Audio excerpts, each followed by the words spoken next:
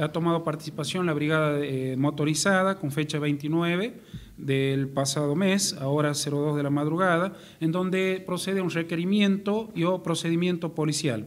Mediante solicitud por vía equipo de comunicación es que se requiere la presencia del personal policial en el barrio Paimán Sur, más precisamente en calle Costa Rica de esta ciudad, lugar este en donde habría dos personas de sexo masculino realizando aparentemente disparos con arma de fuego, que luego de constatar la veracidad de la información y una vez en el lugar, personal policial, tal hecho sería positivo. Así también se encontraron eh, varias vainas servidas a pocos metros del lugar de mención. Se este, divisó que aparentemente uno de los disparos impactó en una camioneta marca Renault modelo Sandero, color gris, la que estaba estacionada en el lugar que en virtud del presente hecho descrito se dio participación al personal de la Brigada de Investigaciones que continúa con las diligencias de rigor.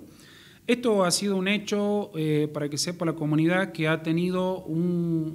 varios días de desencadenamiento, o sea, uno o dos días en los cuales en diferentes horarios estas personas, posterior a haber este, cometido este ilícito, eh, digamos así, que han tomado represalia con respecto a la víctima. Tal es así que en virtud del presente hecho se hace presente por ante oficina de sumarios judiciales a realizar denuncia penal la ciudadana Argañarás Roxana, progenitora del ciudadano Ponce, mayor de edad, damnificado de los supuestos disparos de arma de fuego, el cual, según informe médico, posee un impacto de arma de fuego aparentemente en la pierna inferior, pierna izquierda el mismo fue atendido en nuestro nosocomio local el cual por este, no encontrarse un traumatólogo va a ser derivado posterior para mejor curación.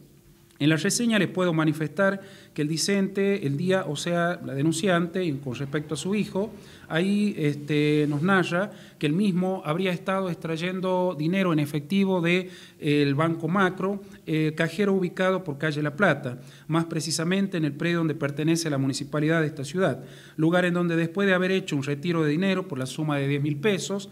eh, discriminados en billete de mil, es que observa que lo hacían circulando en una motocicleta eh, de 110 centímetros cúbicos de color negra,